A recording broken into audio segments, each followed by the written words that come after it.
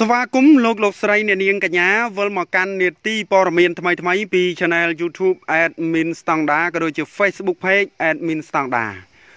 លោកដែនសូនីសម្រាប់ចាត់សាងភ្នោះព្រោះជាប់បណ្ណន់ព្រះដោយសន្យាថាបើលួងលោមស្នេហ៍លើបរិយាមិនបានសម្រេចលោកនឹងប្រិយមិត្តបងប្អូនជាច្រើនច្បាស់ជាស្គាល់ហើយថាអ្នកនាងលើបរិយាដែលនាងគឺជាអ្នកលក់អនឡាញម្នាក់ដែលមានរូបសម្រស់ស្រស់ស្អាត និងថែមទាំងពូកែបាវោហាសាស័ព្ទក្រោយបានលែងលះជាមួយនឹងអតីតស្វាមីរួចឃើញថាអ្នកនាងហាក់បីទទួលបានប្រជាប្រិយភាពនិងតែងតែលេចមុខជាញឹកញាប់តាមបណ្ដាញបាទក៏ដូចជាប៉ុស្តិ៍ទូរទស្សន៍ផ្សេងផ្សេងហើយមិនត្រឹមតែប៉ុណ្ណោះទេឃើញថាអាជីវកម្មរបស់នាងកាន់តែទទួលបានជោគជ័យខ្លាំងឡើងខ្លាំងឡើងពីមួយកម្រិតទៅមួយកម្រិត នៅក្នុងនោះដែរអ្នកនាងលើបរីយ៉ាដែលជាអ្នកលក់ផលិតផលអនឡាញដ៏ល្បីឈ្មោះនិងជោគជ័យហើយក៏មានមហាជនជាច្រើនបានស្គាល់គាំទ្រផលិតផលរបស់គាត់បើនិយាយពីថ្មីវត្តរបស់គាត់វិញ និយាយនៅក្នុងការ live វិញអានោះគឺធ្វើឲ្យមហាជននឹងចូលចិត្តនិងជាវផលិតផលរបស់គាត់ នាងយកទៅលក់បន្ត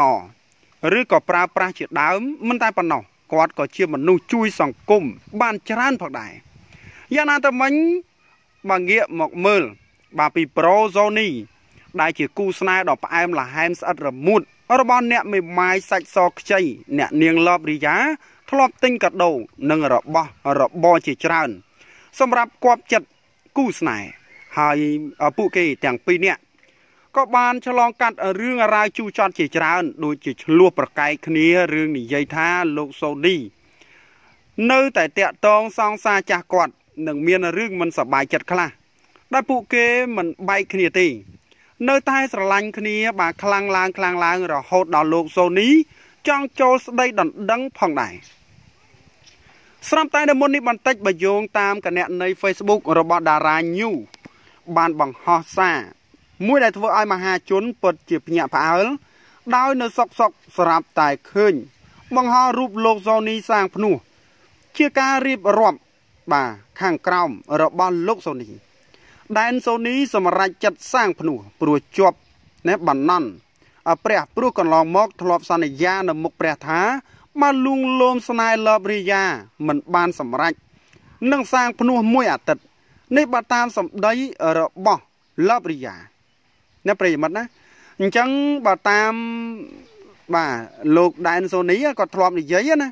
ថាបើគាត់នឹងលួងលោមរបលបរិយាបានសម្រេចគាត់ប៊ូសមួយអាទិត្យបាទគាត់សាងភ្នោះប៊ូសជាសង្ឃមួយអាទិត្យក៏មានមតិជាច្រើននឹងចេញមករិះគន់លោកដែនសូនីដែរថាដែនសូនីបាទសាងភ្នោះព្រោះព្រោះតែស្រីអីជាដើមហ្នឹងបាទឃើញថាមានការរិះគន់អ្នកខ្លះទៅក៏មានការកោតសរសើរដែរ បាទពីទឹកចិត្តរបស់គាត់និយាយថាស្មោះស្នេហ៍ណាស្មោះស្នេហ៍អញ្ចឹងតាក់ទងទៅនឹងអត្ថបទព័ត៌មាននេះប្រិយមិត្តបាទចូលរួមខមមិនម្នាក់មួយផងហើយរឿងនេះឃើញថាផ្ទុះការប្រតិកម្មនៅលើបណ្ដាញសង្គមគួសម